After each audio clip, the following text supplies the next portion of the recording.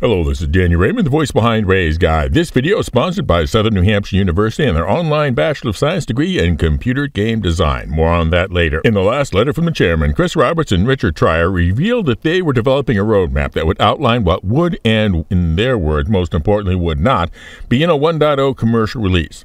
When the results of that task become known, the upset over what would not be included in their list will certainly be intense. And the best counter for that will be for CIG to be able to say that they listen to us. And for CIG to be able to say that they listen to us, well, we have to say something. And in particular, we have to talk about the features besides all the neat stuff in Squadron 42 because, of course, all the neat stuff from Squadron 42 will be brought across because, well, of course. In the last video, I talked about multiplayer crew. In this one, I'm going to talk about CIG's career backlog. A lot of talk has been given to the ship backlog, but the career backlog is actually much more significant and isn't going to be helped much from things imported from Squadron 42 because in Squadron 42, everyone's career is fighter pilot. And although it looks like there may be some engineering around the edges, so mostly going by what CIG has sold us as career oriented ships, here is the full list of promised careers in Star Citizen in alphabetical order Bounty Hunter, builder crafter, cargo hauler, commodity trader, data runner, doctor, engineer, explorer, merchant, miner, mercenary, news reporter, passenger transport, pirate, racer, refiner, refueler, ship repair, salvager, and scientist. And if you think that's a lot of career choices, it's nothing compared to the over 200 career focused degrees offered by Southern New Hampshire University. Wow, was that the smoothest sponsor segue ever, or what? And it's not as though SNHU is still working on the Tier 0 version of their online degrees. SNHU started online classes in 1995. Do you remember the internet in 1995? I do. Less than 14% of American homes had internet access at all, and only 4% of them had the latest and greatest 22.8 kilobaud dial up modems. Just hope your sister didn't want to call anybody mid assignment. And in 1997, they started a bachelor's degree in business administration that could be completed in three years, and in 1998, their first online doctorate. Imagine the vision and boldness to try something so big over an internet still so limited. But they understood, as today, the power of having coursework and access available at any hour of the day so that students can learn around whatever their time zone and whatever their other life responsibilities and leveraging that technology to provide a radically affordable cost per unit. If that sounds interesting, whether for computer game programming or any other field, visit www.snhu.edu slash guide to fill out the form and talk to a real person. That part can still be old school about any questions you might have. That's snhu.edu slash guide. Returning to the Star Citizen 1.0 careers, I'll be dividing that earlier list into four groups. First, ones that are complete or nearly complete for which just a few tweaks or balance items might still be left. These obviously would have included in any 1.0 release. Second, ones that are semi complete but are still needing some necessary features. These also should be part of a 1.0 release. Third, ones that have not or only barely been started, for which, for one reason or other, really should be considered must haves for a 1.0 release. And fourth, ones that have not or only barely been started, which might be considered as possibly 1.x features. And I'm going to be very skeptical about assigning these classifications. After all, we have seen some careers, particularly data running and passenger transport, be in the release view and then disappear completely for years. So let's dig into the categories. Category 1 Frankly, in my opinion, only mining, racing, and piracy could make it in as they are to 1.0 with only minor changes to their current feature set. Piracy, of course, needs a resolution as to how to implement quantum snares and dampening into master modes, but that is a bigger issue than just piracy. Category 2 Things that are existing but need significant fleshing out. First, bounty hunting. This needs that Tier 2 features of being able to immobilize prisoners and transport them for delivery. We've seen the cuffs from Squadron 42, but that still leaves open for transportation, the use of cryocells, and testing how all this works if the player backspaces while captured and in transport. In addition, I believe that bounty hunting, or rather kidnapping for ransom, is how the gangs of Pyro will punish offenders rather than have an actual prison system. Commodity trading need more dynamism in pricing and routes, and as I've said before, this can be accomplished most easily by simply getting the planets in motion. So get those planets moving already, guys. As for doctors, we have a limited medical capability in the game, but it's easily available to all the time to anybody, so there isn't any reason for somebody to say, I'm the doctor.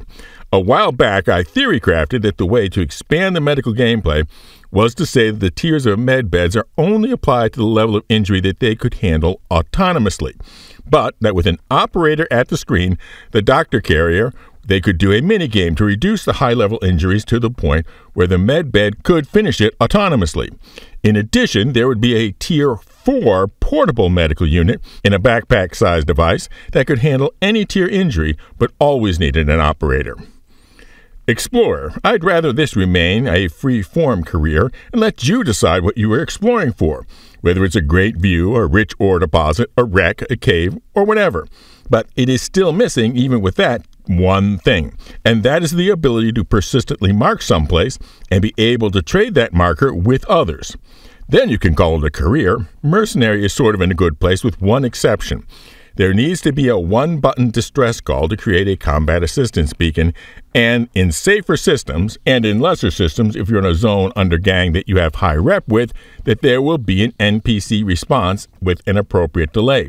Because in a world where hostile players can go anywhere, the only thing that makes a safer system safer is that when you call for help, help comes. Salvage is not in a bad place now, but we have been promised both data salvage, which would be tied to the Category 3 data running, and fuel recovery, which is also tied to finishing up the refueling mechanism.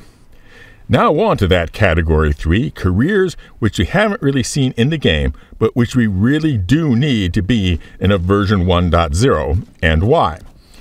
First, cargo hauling. We've been promised cargo contracts being just around the corner, but we haven't seen them demonstrated, and there's an interesting problem.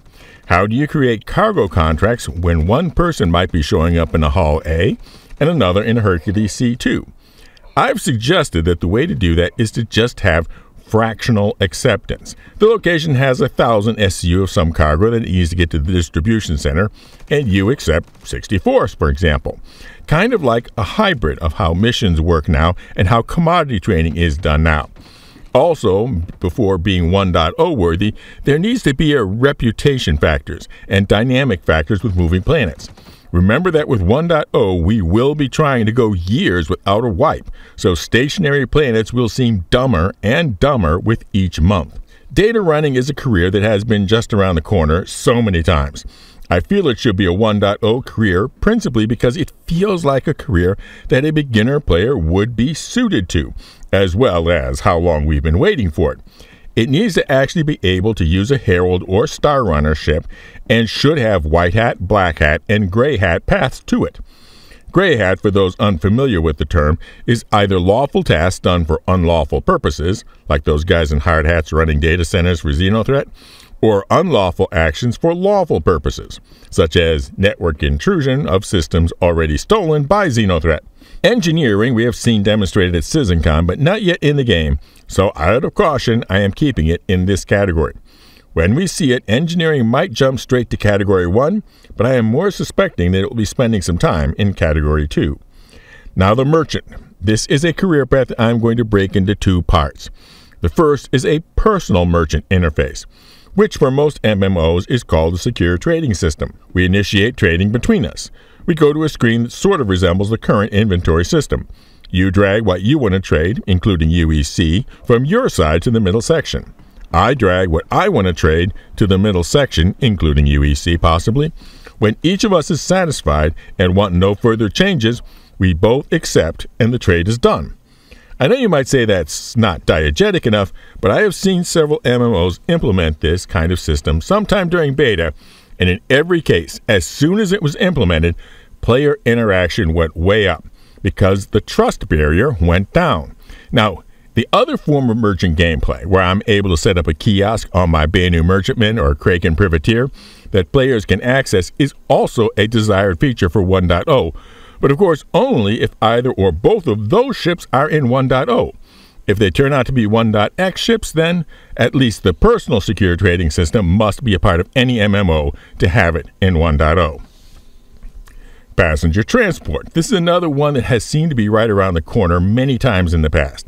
I am in favor of it being on the 1.0 timeline required list because jumping right into the game for the first time and becoming a space taxi guy feels like an appropriate way to introduce uh, yourself as a new player to the big scope of the universe. And it feels like nearly everything that is needed is there already if they just have pathing worked out in Squadron.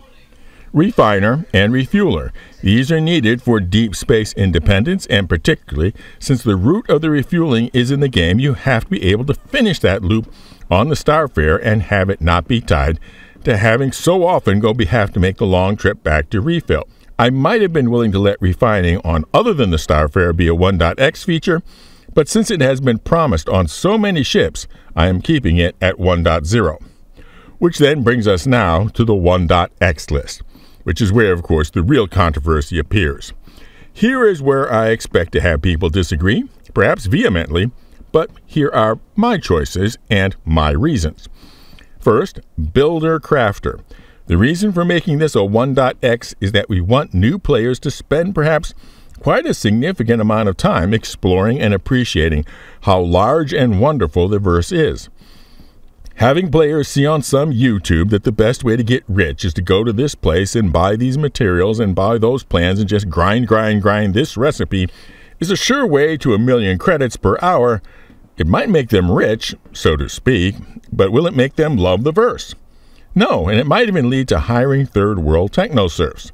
No, I'd rather encourage becoming a builder or crafter to be what players think about doing in their second year in the verse, and thus I'm okay with it being a 1.x feature.